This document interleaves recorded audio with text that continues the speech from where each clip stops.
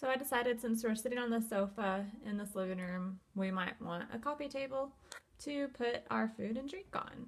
So that's the third piece of furniture that I've added to my room. So I've met the criteria of having three things on the walls, three pieces of furniture, and overlapping.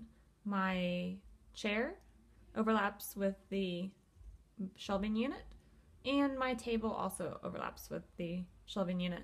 I'm going to add some character to my room by developing it with a few more details